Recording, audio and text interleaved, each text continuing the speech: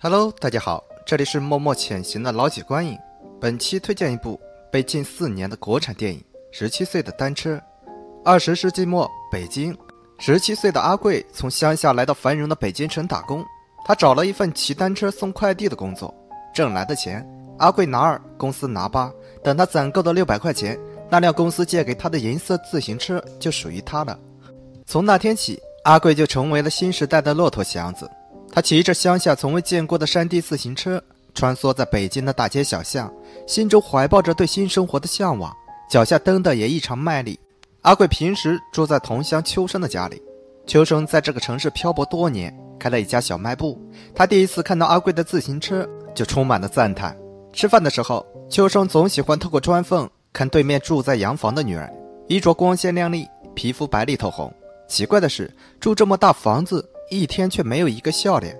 秋生说：“这就是城里人，隔一会儿就换一套衣服。”阿贵问他认识吗？秋生说：“他叫红琴，经常来小卖部打酱油。”那个年代，街上的四轮车都是奢侈品，高楼大厦也没有那么高。出来大城市，阿贵连如何进旋转门都不知道，但他依旧努力地送着快递，靠着他不断的努力攒钱。每干完一天，他就会在本子上做一个记号。再有三天，他就攒够了六百块钱。那辆自行车就真正属于他了。那天，随着一阵高跟鞋的声音，红琴穿着红色裙子来到了这里购买酱油。坐在地上的阿贵忍不住偷看，红琴瞥了他一眼，阿贵便慌乱地别过头去。由于阿贵的工资被误算，秋生告诫他：城里人坏得很，凡事多留个心眼，最好不要让别人看出你是外地人。这天，木讷的阿贵来到一家洗澡的地方收件，被前台误作为是来洗澡的顾客。等他洗完澡时，阿贵才说出自己是来收件的，但洗了澡就要交钱。就在争执时，经理看他不是什么有钱人，便放他离开的。由于在里面耗的时间太长，阿贵停在门口的自行车不翼而飞。他在门口从早坐到晚，依旧没有等到自行车回来。这时，他才想起还有一份急件未送。当他满头大汗地跑到收件地点时，对方早已关门。阿贵茫然地站在门口，绝望的泪水差点流过面颊。丢车事小，影响公司信誉事大，阿贵因此被公司开除。他哭着求经理，是不是把车找回来就可以留下来？经理拗不过他，只好答应。可偌大的北京城，想找一辆自行车犹如大海捞针。阿贵穿梭在大街小巷，寻找着那辆带有记号的自行车，可一连几天他都一无所获。他不甘心，心里萌生了偷一辆的想法。结果因为胆小，被主人抓到后送到的派出所。是经理将他保了出来。一天，秋生的小卖部来到一对情侣，面前停放着两辆自行车。他发现男孩骑的车和阿贵丢的车有些相似，于是告诉了阿贵。男孩名叫小坚，十七岁；女孩叫潇潇，两人都是当地的学生。小坚虽然是北京人，却生活在并不富裕的家庭。父亲和别的女人重组了这个家，还带来了一个妹妹。为了给他交学费，一家人显得有些捉襟见肘。他努力的念书，试图用优异的成绩来换取同龄人都在玩的山地自行车。父亲总是三番五次的承诺会在下个月给他买一辆，可这个承诺从没有兑现。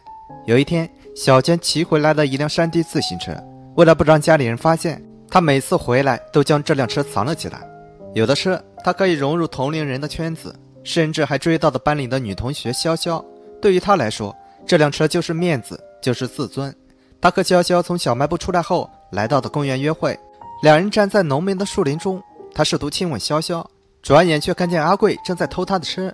小健追了上去，两人从公园追到了大街上，结果在一个转弯路口撞上了一辆小卡车。小健的同学也赶过来帮忙，对方人多势众，刚刚失而复得的车子又被小健抢了回去。阿贵并没有放弃，他悄悄尾随在小健的身后，并来到了他的家门口。回到家中。父亲说家里遭的贼，用来给妹妹交学费的钱不翼而飞。父亲问是不是他偷的，小坚声称自己没有拿。夜晚，趁着四下无人，阿贵找到了被藏起来的自行车。于是第二天，当小坚准备骑车上学时，发现车子不见了。阿贵拿出的自行车让经理感到不可思议，便兑现了当初的承诺，让他留下来继续送快递。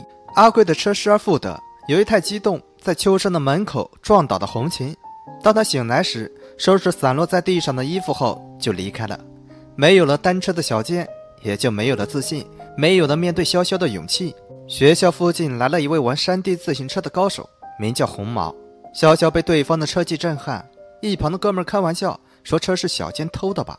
小坚被惹毛，两人打了起来。事后几个哥们一商量，查到了阿贵所在的快递公司，最终几个哥们儿把车子抢了回来，还将阿贵打了一顿。有的单车，小坚找到的潇潇，希望他回到自己身边，对方却对他避之不及。满脸失望的他刚刚回到家门口，又遇到了找上门来的阿贵。由于阿贵在车上做了记号，父亲认出来后，便将车子还给了他。而小坚，父亲以偷东西为由打了他。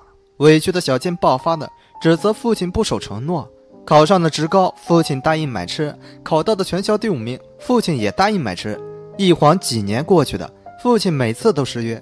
到这个时候，小坚依旧坚称车子是自己买的。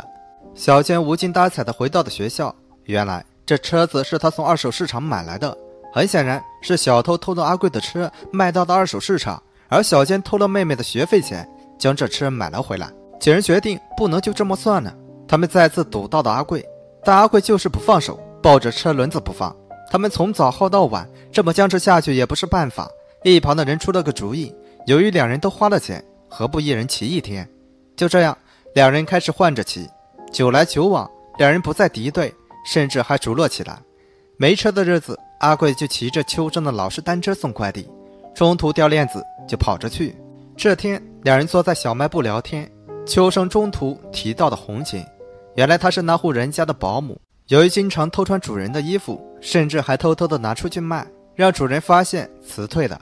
秋生感叹：“要知道她也是农村的，我就去追她的。”那天天上下着雨。阿贵骑着单车再次找到潇潇，未料红毛成为了他的新男友。红毛走上前来，用打火机点燃了一支烟，塞在了阿贵的口中，还拍了拍他的脸，意思就是以后别再缠着潇潇，否则就不客气。小坚的自尊心受了辱，他悄悄跟在两人的后面，在一个小巷子里用砖头拍晕了红毛。随后，他来到了交车的地方，决定将车子还给阿贵，声称自己以后不再需要的。话还没说完，红毛带着人追了过来。由于阿贵不认识路，一直跟在小坚的身后跑，最终两人被堵在了一个死胡同里。对方误认为阿贵是和他一伙的，于是遭到了毒打。那辆单车被黑衣男子不停地蹂躏，阿贵一直求饶着说这一切和他没有关系，可对方根本不听。最终，他满脸是伤的举起了手中的石头，给了对方后脑勺一下。他扛着损坏的自行车，穿梭在大街小巷。穿梭在没有他立足之地的世界里。十七岁的单车首映于二零零一年的柏林电影节，因为没有送审，无视龙标许可证，被封禁了四年。一辆自行车讲述着两个孩子的青春成长史。对于阿贵而言，是养家糊口、融入城市的跳板；而对于小千，则是一个带来自尊、爱情的玩具。青春中的成长，它是痛苦而又美好的。痛苦来源于别人的误解、社会的压力。以及对梦想生活的追求，但一次次群殴，一次次被打，导致阿贵的城市梦破碎，小千的爱情梦惨败。他们才意识到，这就是成长所付出的代价。在那个年代，城乡隔阂，社会板结化，阶层固化，北京城同样经历着一种成长。外来人口增加，导致城市与农村的冲突更为凸显，农村人格格不入，城市底层家庭捉襟见肘。红裙穿着主人的衣服。打扮的光鲜亮丽，极度渴望成为高高在上、别人眼中羡慕的城市人。秋生艰难维持着小卖部，偷窥红琴，也在向往着那种生活。至于潇潇，它象征着美好生活，象征着某种诱惑，到头来却还是把底层人玩弄得团团转。他们每个人都有一个城市梦，希望能够成为这里的一员，接受平等的对待，遭遇的却是潇潇象征的现实打击，最后带着与城市格格不入的局促与不安。凭着心底微弱的渴望，惶惶度日。青春就是这样，对待每个人都是雷霆雨露，而它应该只是一场必须经历的洗礼仪式。通过洗礼之后，你会发现，并找到心中的答案。好了，这里是老井观影，我们下期视频再见。